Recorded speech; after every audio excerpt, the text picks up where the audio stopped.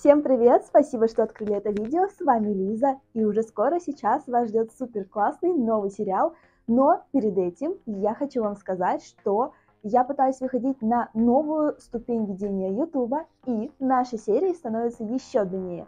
Они уже были по 10 минут, теперь я буду стараться делать серию от 15 до 20 минут. Я надеюсь, что вы этому очень рады, потому что я знаю, что вы любите длинный формат, вот, также я хочу вести особый график на YouTube и стараться выкладывать видео каждую среду и воскресенье. То есть видео будут выходить чаще, вам больше не нужно ждать неделями а, продолжение, поэтому пишите, что вы думаете по этому поводу в комментариях. Также хочу сказать, что я ввожу в свой канал больше своей личной жизни, будут влоги, распаковки и т.д. и тому подобное, мой день жизни. Допустим, в это воскресенье я уже планирую влог, я буду возвращаться в Турцию, наше возвращение в Турцию спустя три месяца пребывания в Грузии, поэтому я очень надеюсь, что вы будете влог ждать. Я максимально постараюсь его сделать для вас интересным. И если вам нравится все, что я привношу в свой YouTube, то, пожалуйста, сообщите об этом в комментариях. Также, если не нравится, тоже сообщите, я буду все читать. И обязательно подписывайтесь на мой телеграм-канал.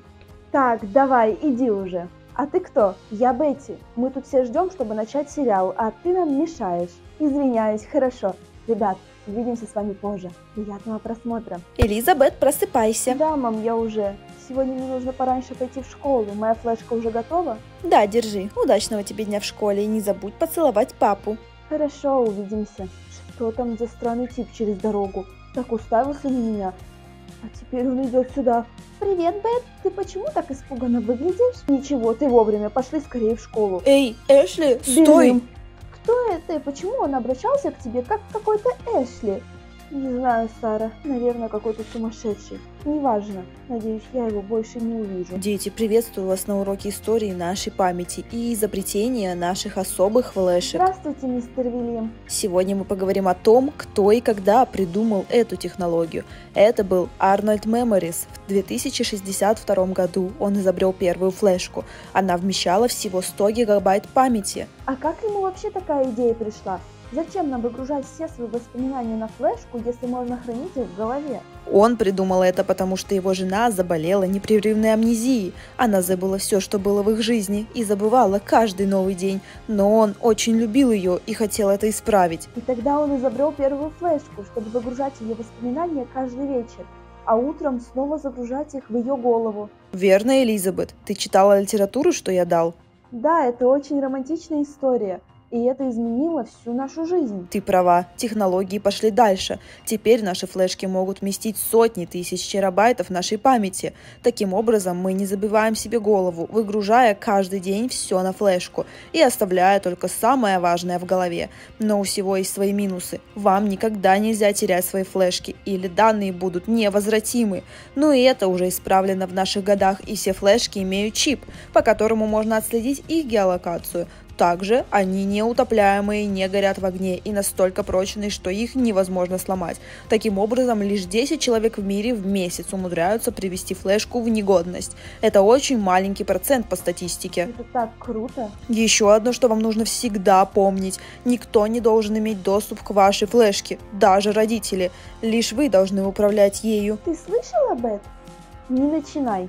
Я тебе давно говорю, что то, что твои родители каждый вечер забирают твою флешку, это ненормально. Сара, это мои родители, а не какие-то чужие люди. Да и я отлично помню всю свою жизнь. Если бы они удаляли какие-либо воспоминания, я бы это уже заметила. Бет, тебе нужно начать им отказывать и посмотришь, что они тогда будут делать.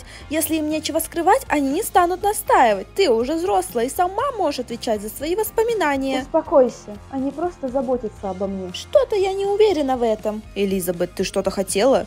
Да, профессор.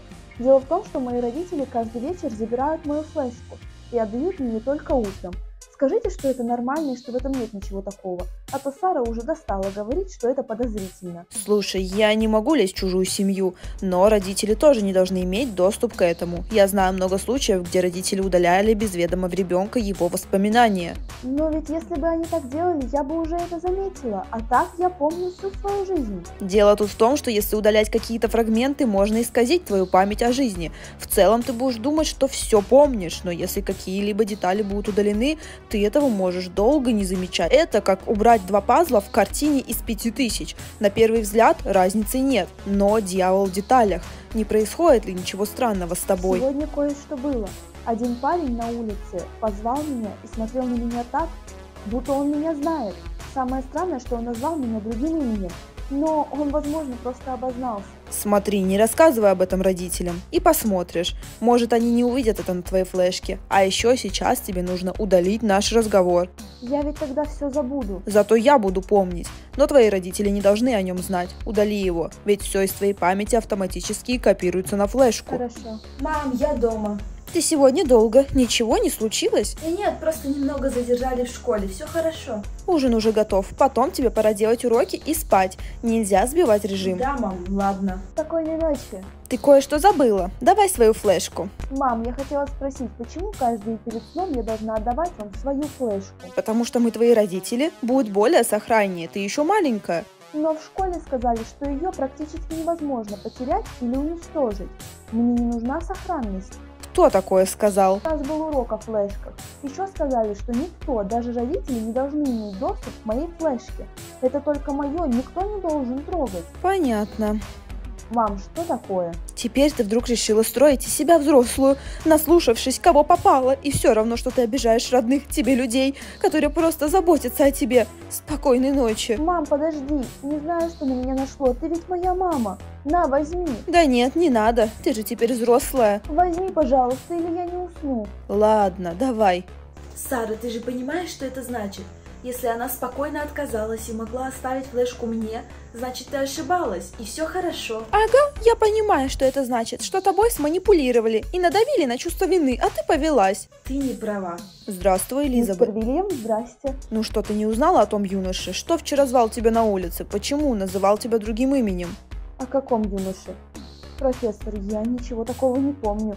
Может, вы перепутали меня с кем-то, у вас же тысячи учеников. Ой, да, извини. Хорошего тебе дня. Здравствуйте, мистер Вильям, вы меня вызывали? Заходи, Сара. Вчера Элизабет рассказывала, что тебе не нравится то, что ее родители забирают ее флешку каждый да, вечер. это правда. И я не понимаю, зачем они это делают. Вчера ее мама сделала вид, будто это просто забота. И она расслабилась. Но это же чистая манипуляция. Ты права, Сара. Ее родители что-то скрывают. Как вы это узнали? Вчера она говорила мне о парне, который на улице позвал ее именем Эшли. Да, я была там, это правда. И что с тем парнем? Ее родители удалили воспоминания о нем. Сегодня она его не помнит. Но зачем? Это хороший вопрос. Зачем со всего дня удалять память только об одном прохожем? Если он просто ошибся, такого бы не было. Значит, здесь кроется что-то большее. И что же нам делать? Наблюдай за Бетти и тем, что она помнит, но не говори с ней об этом парне. Ее родители увидят все, что она видит за день. Ты не должна оказаться им странной. Веди себя как обычно и приглядывай за Бетти. Хорошо, я поняла вас. Сара, мне до дома осталось идти пять минут. Давай уже как приду, я тебе перезвоню. Хорошо. Эй, Эшли, Эш, привет! Кто вы? Я не Эшли, вы обознались. Я так долго тебя искал, ты не помнишь меня? Уйдите, пожалуйста, с дороги, вы меня пугаете. Ты видела меня еще вчера, ты не помнишь? Вы точно ошиблись. Сегодня я вижу вас впервые. Сара, представляешь, ко мне на улице подбежал какой-то сумасшедший. Почему-то стал называть меня Эшли. Сказал, что я его видела вчера. Но он что-то путает, потому что я его до сегодняшнего дня никогда не видела. Да, Бет, просто забей, какой то дурачок. Слушай, ты меня прям успокоила. А то это все выглядит как-то странно. Да, не парься, мало ли что ли на свете людей, у которых с головой непорядок. Перепутал тебя, видимо, с кем-то. Алло, мистер Вильям. Есть новости. Этот парень снова подошел к Бетти, и он назвал ее Эшли. Что ты сказала, Бет? Ничего, я сказала, чтобы она забила и не брала в голову. Если ее родители посмотрят эту запись, то посчитают, что я болезнь для них, потому что говорю то, что они бы хотели. Да, ты молодец. Завтра мы окончательно убедимся во всем. Если они сотрут ее память, значит с этим парнем явно что-то не так. И мы должны выяснить, что ее родители скрывают. Хорошо. Так, Бет, давай флешку. Держи, мам. Тебя что-то беспокоит? Выглядишь задумчивой. Да, сегодня ко мне на улице подходил какой-то странный парень. Звал меня Эшли. Ой, ты же знаешь, сколько этих сумасшедших по улицам бродит. Ну, обознался, подумаешь, чего это тебя так заботит? Просто это так странно. Чувство, как будто я этого парня знаю. Голос такой знакомый. И будто знаю уже очень давно, но воспоминаний нет. На что ты намекаешь? Что я удаляю твои воспоминания? Я твоя мама, зачем бы мне это делать? Я никогда не трогала твою память. Как ты могла подумать такое? Знаешь, это очень странно. Я это сказала просто так. И даже никогда не думала о том, что ты можешь удалять мои воспоминания но твоя агрессия по этому поводу заставляет задуматься. Извини, Бет, у меня просто сегодня был плохой день. Я думала, ты меня обвиняешь, вот и разозлилась. Прости, зайка моя, ты же знаешь, как я тебя люблю. Завтра будет лучше, ложись спать. Сладких снов, доченька. Спокойной ночи. Привет, Бет, ну что, как вчерашний странный парень? Привет, какой еще парень? А, никакой, это просто шутка, новый прикол из ТикТока. Увидимся после уроков странное. Мистер Вильям, вы были правы, что это нечисто. Ее родители удаляют воспоминания, она снова забыла этого парня. Что же нам делать? У меня есть одна идея. Элизабет, нужно поговорить. Мистер Вильям, Сара, что случилось? Бет, твои родители врут тебе. О чем вы? Каждый вечер они забирают твою флешку не для того, чтобы она была в сохранности. Они что-то скрывают от тебя и удаляют твои воспоминания. Чего бы вам знать об этом? Два дня подряд какой-то юноша встречал тебя на улице и звал тебя Эшли, но теперь ты ничего не помнишь о нем. Да, я не помню никакого юношу. Но может вы с чем-то просто эту историю путаете? Бетти, нет, я была с тобой, когда он звал тебя через дорогу. Мы шли в школу позавчера. Или вчера ты позвонила мне из дома и говорила, что после того, как повесила трубку, он подходил к тебе. Странно. В тот день я помню, как мы шли, болтали обо всем, наш путь. Но этого я не могу вспомнить. Вчерашний день я помню, как я положила трубку, а дальше воспоминания, будто я уже дома и на кровати.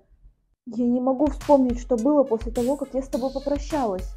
Потому что твои родители удалили воспоминания. Но зачем? Мы это выясним, и у меня есть идея. Что это? В нашем мире каждому человеку за жизнь выдают лишь одну карту памяти, во избежание использования в плохих целях, поэтому достать вторую нереально, только если взять у другого человека, но никто в здравом уме на это не согласится.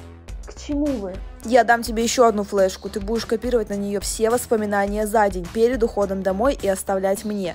А на следующий день мы будем сверять, что твои родители удалили. Также весь этот наш разговор мы удалим с твоей флешки, чтобы они не увидели. Поэтому ты не будешь этого помнить, но завтра увидишь на новой флешке и вспомнишь. Профессор, а у нее мозг не сплавится? Постоянное удаление и возвращение воспоминаний ничем хорошим не кончится. Надеюсь, мы быстро решим проблему, потому что для мозга это действительно очень плохо. А откуда у вас еще одна флешка? Это флешка моей покойной дочери. Теперь принесет пользу тебе найти правду. Простите, я не знала. Ничего, я почистил ее, она как новая. Мы поможем тебе. Да, Бетти, мы обязательно все выясним. Спасибо вам. Теперь я удалю наш диалог. До завтра, Элизабет. Эшли, Эш, стой! Кто вы? Ты снова меня не помнишь? Это очень странно. Кто-то имеет доступ к твоей флешке? Я не должна говорить с незнакомцами, но ваш голос такой родной. Да, мои родители каждый вечер берут мою флешку. Не верим. Они врут тебе, Эш. Меня зовут Бетти, и мне уже пора идти. Мне мама звонит. Мам, странный парень сегодня ко мне подошел на улице. Опять? В смысле опять? Сегодня я видела его впервые. Ой, я в том смысле, что дочери Кэролин на днях тоже так же подходили. Видимо, у нас тут на районе завелся сумасшедший. Он мне сказал, что я не могу вам верить. А кому ты должна верить, доченька? Прохожему с улицы? Ложись спать. Завтра вечером мудренее. Спокойной ночи. Ты забыла дать мне свою флешку.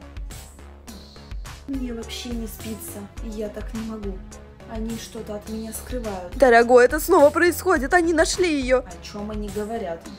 Это случилось 10 лет назад, но они все никак не оставят нас в покое. Мы за 10 лет переехали уже 14 раз. Как они так быстро нас находят? Почему они просто не могли смириться? Я не знаю, Мишель, не знаю, что делать. Бетти уже точно начинает что-то подозревать. Она взрослеет и с каждым разом узнает правду все быстрее. Похоже, нам снова нужно уезжать в другой город. Уже? Да, мы сделаем это через неделю. Надо будет удалить все с ее флешки. Это правда. Они удаляют мои воспоминания. Но что они скрывают от меня? Нужно рассказать все Саре, потому что я завтра это все забуду. Да, Сара. Мистер Вильям, вы как всегда были правы. Они скрывают что-то крупное. Они постоянно удаляют ее память. Мы должны разобраться, в чем дело. Вы спите? Нет, я как раз думал об Элизабет. Почему-то я считаю своим долгом помочь ей. Может, потому что я не сумел спасти свою дочь и хочу спасти хотя бы кого-то. Давайте я сейчас приду к вам, и мы попробуем свести концы с концами. Сара, куда это ты на ночь глядя собралась? Профессору Вильяму. Чего? Это твой учитель, который был твоим репетитором предыдущий год? Нам нужно решить одну очень важную проблему. А с какого момента ты начала ко взрослым мужикам домой таскаться по ночам? У вас с ним что, роман? Мам, ты что, с ума сошла? Я надеюсь, больше никогда от тебя такой глупости не услышу. Он очень хороший человек. И вообще-то у него еще и жена к тому же есть. А что тогда? Зачем ты к нему идешь? Нам нужно помочь Бетти. Ее родители врут ей и скрывают что-то страшное. Сара, это их семья, зачем тебе в это лезть? Она моя лучшая подруга. Ты наверняка навыдумала себе своей детской фантазии, а мистер Вильям почему-то решил это поддерживать. Мам, думай, что хочешь, но я помогу своей подруге. Итак, мы почти ничего не знаем, но можно начать с поиска на имя Эшли. Этот странный парень вечно так ее называет. Хорошая идея. Давайте. Может, вам кофе налить? Рэйчел, Сара еще не доросла пить кофе ночью. Ей сделай какао. Хорошо, милый. Надеюсь, вы сможете помочь этой девочке. Я тоже. Что вы нашли, мистер Вильям? Я, кажется, заснула. Это просто ты представить себе не можешь. Что там? Десять лет назад без вести пропал ребенок, девочка. Родители ищут ее по сей день и не сдаются. Они считают, что эту девочку у них украли. Имя этой девочки Эшли. Вот фото семьи. У нее еще есть брат.